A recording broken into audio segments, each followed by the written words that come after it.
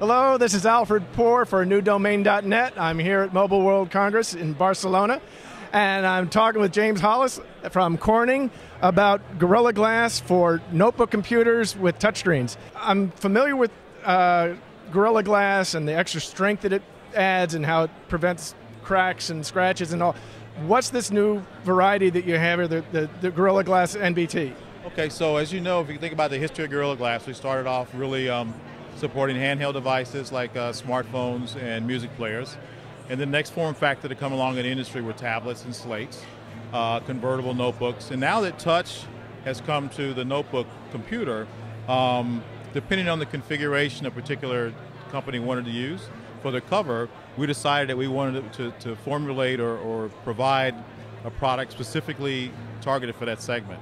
Um, in this particular situation, we've got uh, soda lime, which is uh, kind of a standard glass strengthened that can be used there.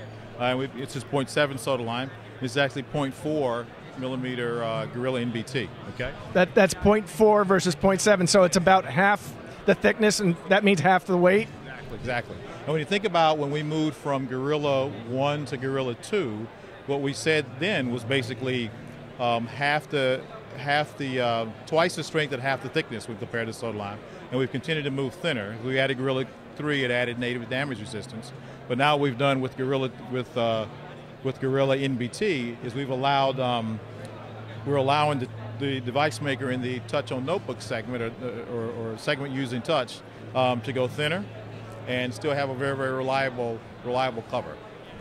That's that's excellent.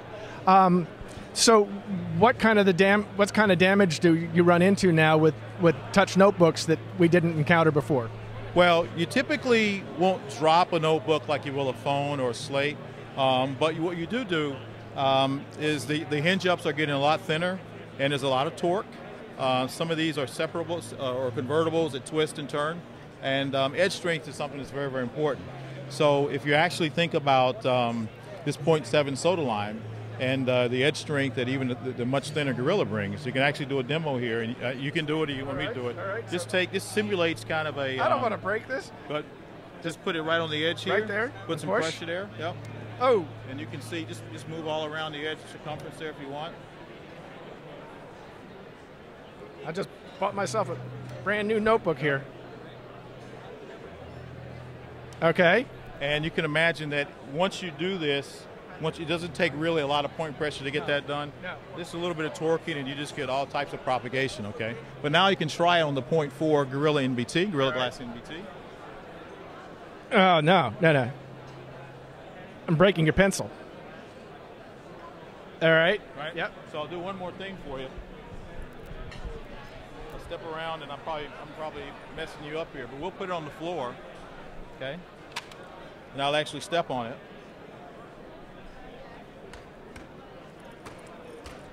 Okay? And that's the Gorilla NBT. That's what it does for edge strength. So that 0.4 thickness, it allows the device maker now to um, think about making a much, much thinner hinge up. It can handle the torque and it can handle obviously the edge dam- the edge pressure or uh, um, the uh, the damage that could potentially happen on the edge. That's awesome, and at half the weight, half the thickness, and all. Exactly, exactly. That's awesome, Hollis. Thank you so much for your time. This is great. Again, from Mobile World Congress in Barcelona, for a new domain.net, I'm Alfred Poor. Thanks for watching.